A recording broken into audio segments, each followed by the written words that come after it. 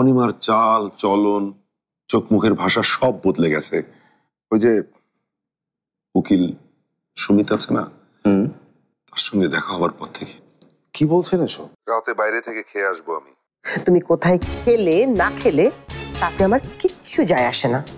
এমনকি তোমার ইচ্ছে হলে তুমি বাইরেও থেকে যেতে পারো তাতেও আমার কিছু যায় আসে না। এখন ফোনটা রাখো আমি একটু শান্তি পাই। আমার কি রাতে আপনার ওখানে খাওয়ার কথা ছিল?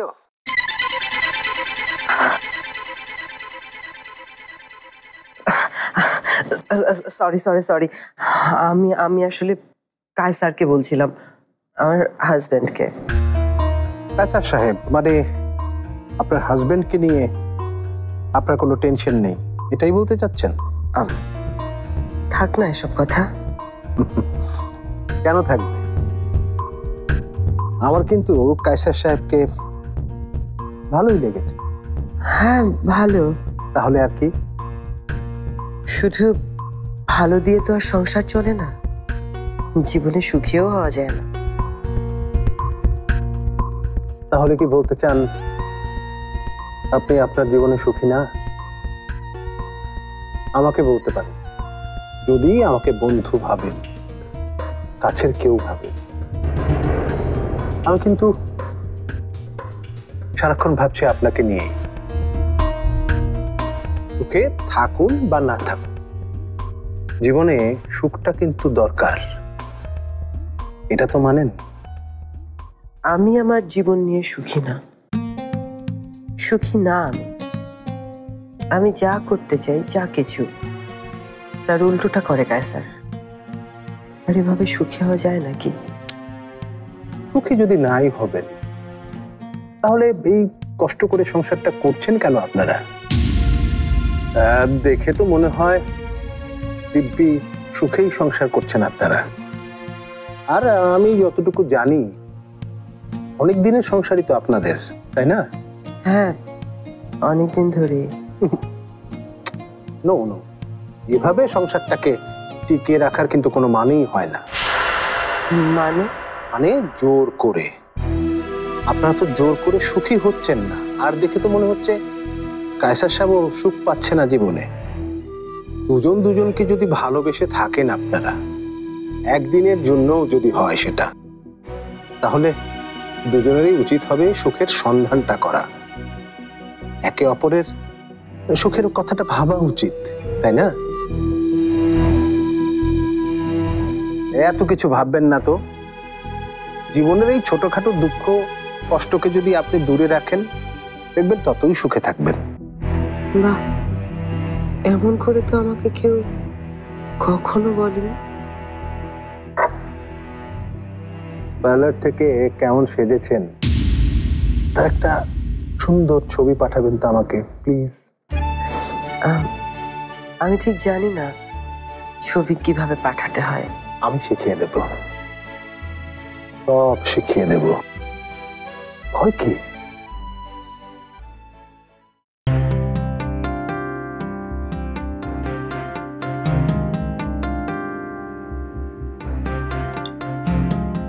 কায়সারকে দেখলে ওই যে বাংলা একটা প্রবাদ আছে না, সেটা আমার মনে পড়ে যায়। নিজের খেয়ে বোনের এই কাজী পরের লেনটাতে নাকি বনের মোস্তারা নয় আর হ্যাঁ হ্যাঁ। নিজের খেয়ে বোনের মোষ তারায় রাহাত রানুর সম্পর্ক নরবর করছে। আর রাহাতে দুলাভাই হয়ে কাসার সাহেব আপনাদের সাথে যে আত্মীয়তার সম্পর্ক বজায় রেখেছে আহা কি বিরল দৃষ্টান্ত।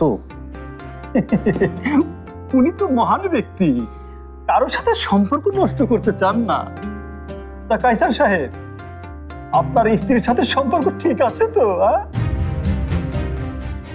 কারোর সাথে সম্পর্ক থাক বা না থাক এই পরিবারের সঙ্গে তার সম্পর্ক বজায় রয়েছে হ্যাঁ? একেবারে দৃঢ়। কি বলেন মাস্টার সাহেব? তাই তো বিপদে আপদে আপনাদের পাশে দৌড়ে চলে আসে। আয় স্যারকে তো আসার সময় আমি রীতিমতো কাঁদতে দেখেছি মাস্টার সাহেব। কথা সত্য। আমিও দেখেছি। আমি আসলে কেঁদেছি যে মানুষ কতটা নির্মম এবং নিষ্ঠুর হতে পারে সেটা ভেবে। তোমার যে ঘাড়ে রগ একটা বাঁকা সেটা আমি ভুলেই গিয়েছিলাম কায়সার যাই হোক এটা নিয়ে আমার কোনো ভাবনা নেই। ভাবনাটা কি তাহলে এই সহজ সরল সরকার পরিবার নিয়ে? কীভাবে তাদের ক্ষতি করা যায় সেটা নিয়েই তো নাকি? এই মিয়া। বেশি কথা বলো তুমি। রানু রানু একটু নিচে আয় তো মা। রানু আপা এখন রেস্ট নিচ্ছে ও এখন নামবে না। ফুপার সঙ্গে না হয় একটু দেখা করে তারপর না রেস্ট নিবে। এই রানু রানু আরে রানু।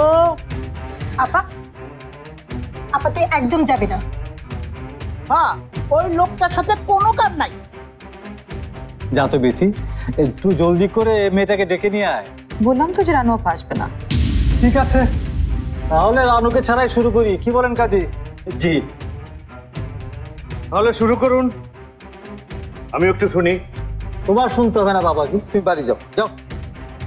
কি সাংঘাতিক? কোন বাড়ি? কার বাড়ি? কোথায় বাড়ি? আপনি তো আমাকে সেই বাড়ি থেকে বেরিয়ে যেতে বললেন।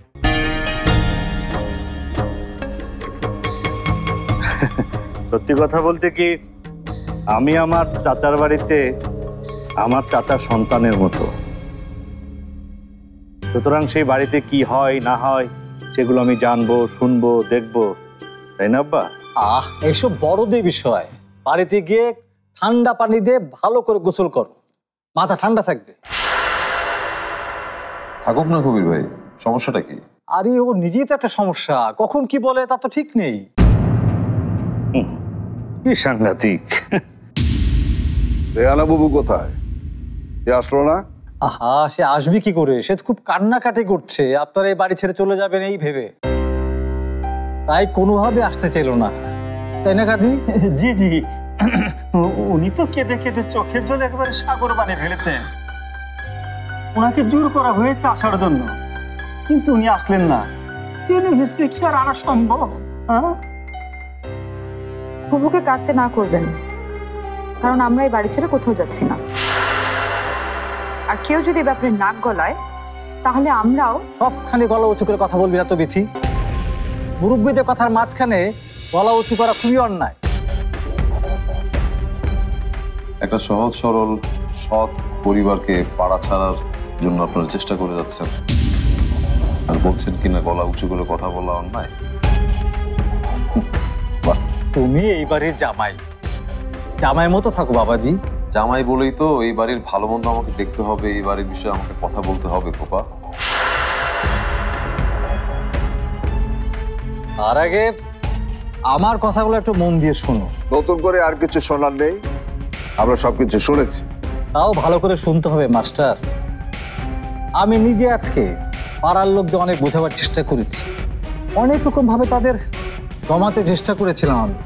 তাতে ফলাফল শূন্য। পারলে তো ওরা বাড়িতে আক্রমণ করে। মিথ্যে কথা। এই মিথ্যে কথা বলে আব্বা আপনি কি প্রমাণ করতে চেয়েছেন? কিসের মিথ্যা? অবশ্যই মিথ্যা আব্বা। সত্যি কথা বলতে কি এই জামাল চাচাদের পরিবার নিয়ে আপনি সেখানে কোনো কথা বলেননি। বরং আশপাশের সব মানুষকে আপনি খেপিয়ে দিয়েছেন।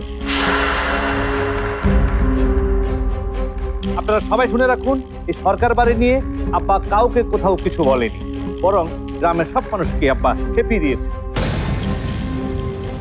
আর সবকিছু আমি ঘরের ভেতর থেকে শুনেছি। একটি দাড়ি কমা আমি বাদ দিই আমরাও বুঝে গেছি যে উনি কি চান। আচ্ছা এখন বাকিটা বলুন। আমি আবার কি চাইব? আমার আবার নিজে কোনো অভাব আছে নাকি? টাকা পয়সা সোনা দানা সম্পদ অর্থ সবই আছে আমার। অবৈধভাবে মজুদ করে অর্থ সম্পদ করা যায় কিন্তু সব কিছু নয়। আচ্ছা আপনার গুদাম থেকে এবার কত হাজার লিটার সোয়াবিন তেল জব্দ করা হয়েছে? নাকি অন্য কোথাও সরিয়ে রেখেছেন? কথা না ঘুরিয়ে আসল কথায় আসেন মাস্টার। আপনার সাথে আমাদের তো আর কোনো কথা নেই। আপনার না থাকলেও আমাদের আছে। সেসব কথা বলতে হবে নাকি? আপনার এক মেয়ে কে আর ইতিহাস আছে পাড়ার ছেলে মেয়েদের পেটানো? তাতে অবশ্য কোনো ক্ষতি নেই। এমনকি লিলি যা করেছে সেটাকে সবাই অ্যাক্সিডেন্ট ধরে নিয়েছে। কিন্তু রানুর ঘটনা এটা তো মহা অন্যায়। এটা তো ক্ষমা করা যায় না।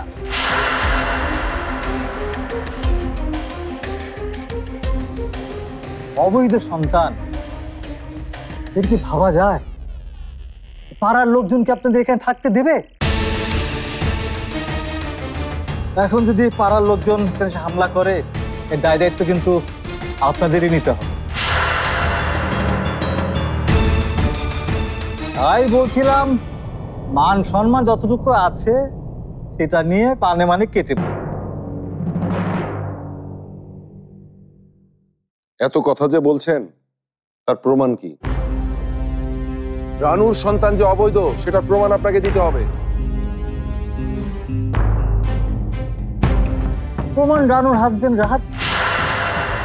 পাড়ার লোকজন খোঁজ খবর নিয়ে জেনেছে যে রানুকে রাহাতকে ঘর থেকে বের করে দিয়েছে এই কারণে। রাহাত ভাই রানু আপাকে বের করে দেয়। রানু আপা নিজের ইচ্ছা সেখান থেকে বের হয়ে এসেছে। বরং রাহাত ভাই রানু আপাকে ফিরিয়ে নিতে চেয়েছিল কিন্তু রানু আপা যায়নি।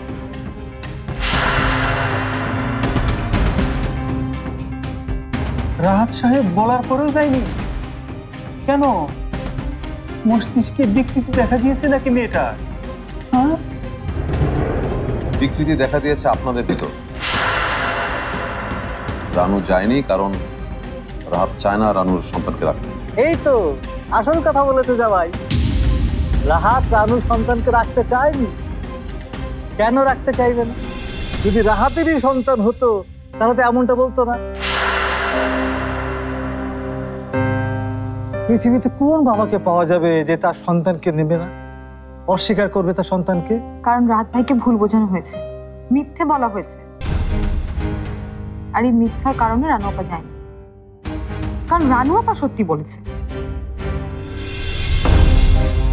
আসলে মিথ্যাকে মিথ্যাই পছন্দ করবে এটাই তো স্বাভাবিক।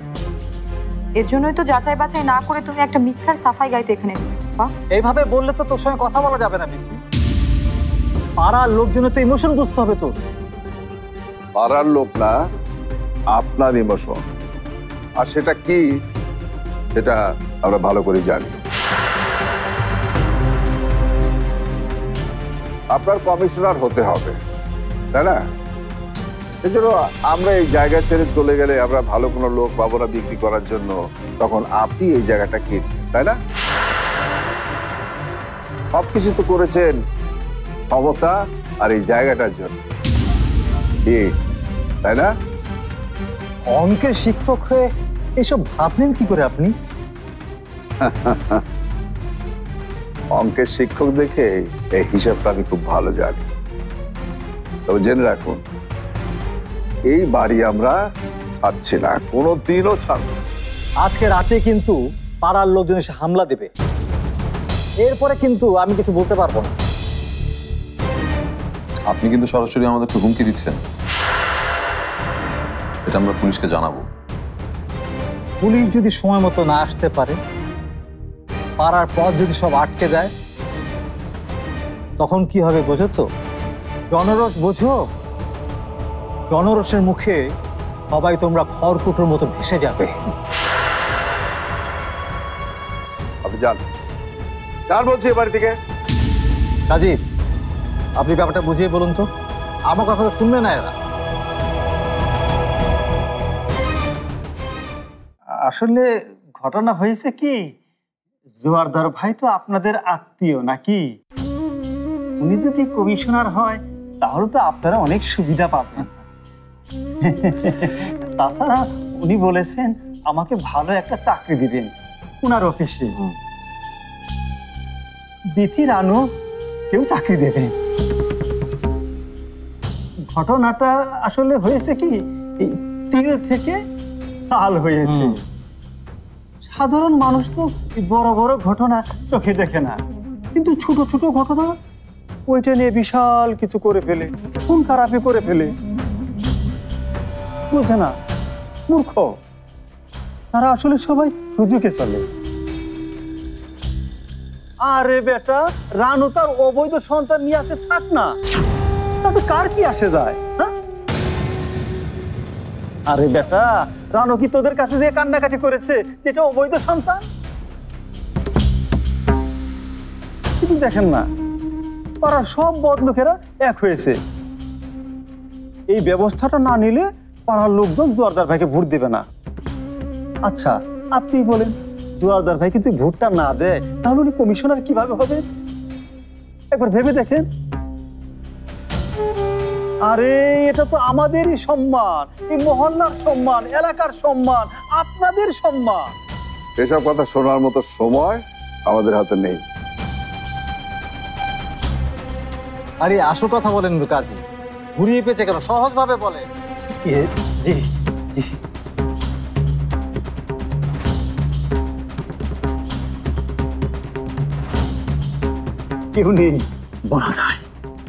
আচ্ছা ঠিক আছে। আমিই বলি। আমার আরেকটা প্রস্তাব আছে। প্রস্তাবটা হচ্ছে যে আপাতত আপনারা কিছুদিনের জন্য বাড়ি ছেড়ে চলে যান।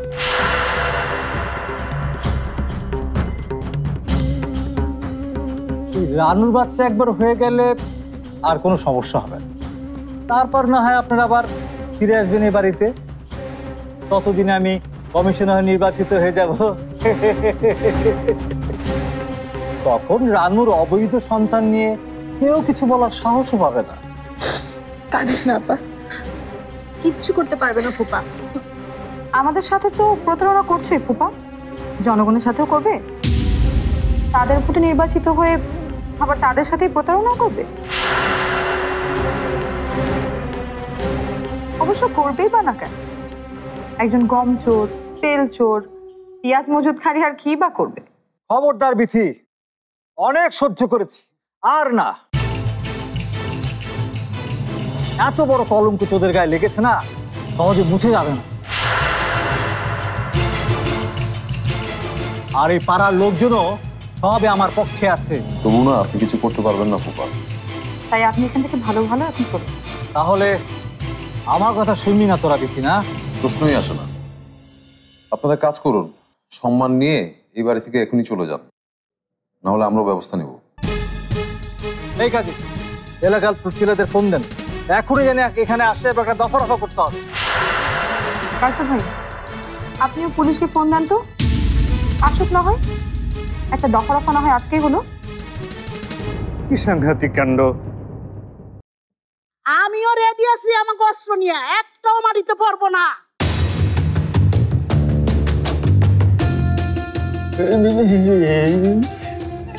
কেটে পড়ুন জোদার সাহেব ও অবস্থা বেশি ভালো না। এই জোয়ারদার কখনোই হারে না। তোদের এই বাড়ি ছাড়তেই হবে সেই ব্যবস্থা আমি করবই। তারা আইতাছি। ব্যবস্থা করতেছি আপনি গো চলেন চলেন। অবস্থা বেশি ভালো না।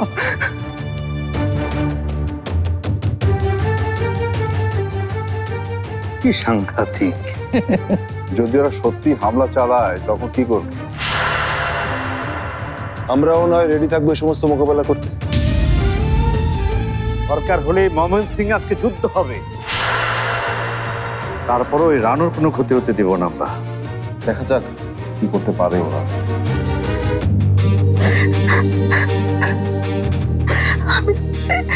আমি চলে যাব।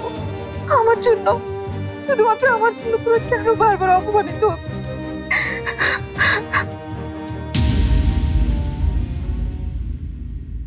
বানেসার ওই ঘটনার পর থেকে ও কেমন যেন বদলে গেছে। আজকাল কিন্তু মনে হচ্ছে তুমি অনেক বদলে গেছো। এটা ভুলে যেও না।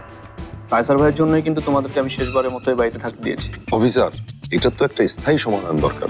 তা নাহলে তো প্রতি রাতেই আমাদেরকে টেনশন করতে হবে। এটা আমাদের হাতে নেই। এটা আপনাদেরই ব্যবস্থা করতে হবে। কি সাংঘাতিক। তাহলে আপনারা আছেন কেন? রানুদের অবস্থা তো খুবই করুণ। পাড়ার লোকেরা সবাই ওদের বিরুদ্ধে চলে গেছে। যে কোনো সময় হামলা করে ফেলতে পারে। এইসব তুই কি করে জানলি?